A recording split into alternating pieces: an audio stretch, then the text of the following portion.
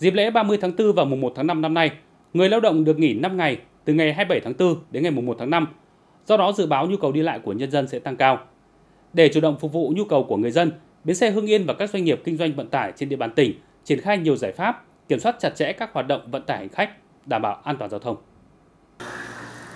Theo các nhà xe, dù đã sát với ngày nghỉ lễ nhưng lượng khách rất ít. Tuyến buýt 208 Hưng Yên Giáp Bát khách đi không nhiều, mỗi chuyến chỉ khoảng từ 7 đến 10 khách. Tương tự cũng tại bến xe khách La Tiến, bến xe Triều Dương, khách cũng rất vắng, mặc dù đơn vị đã chủ động các điều kiện tốt nhất nhu cầu đi lại của nhân dân.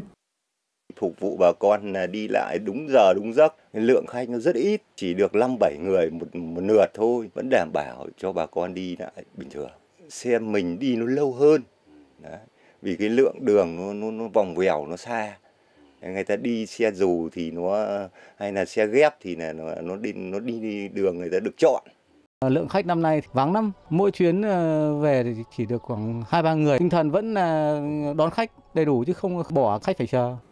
Hiện các đơn vị vận tải hành khách đã sẵn sàng các phương án để việc đảm bảo an toàn khai thác chất lượng dịch vụ và đặc biệt là đáp ứng đầy đủ nhu cầu đi lại của hành khách dịp này. Tuy nhiên đến hiện tại, lượng khách đặt vé cho dịp lễ vẫn khá thấp so với ngày thường chỉ tăng khoảng 20%.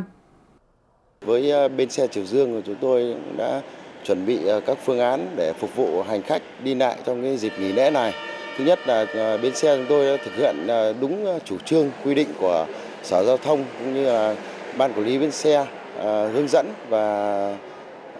đề ra để thực hiện đúng ừ, trong cái lĩnh vực vận tải. Và đối với à, hành khách đi lại chúng tôi có chuẩn bị à, cái số lượng xe dự kiến là 4, 46 à, đầu xe cho phục vụ cho 12 tuyến và 9 doanh nghiệp hoạt động trên bến.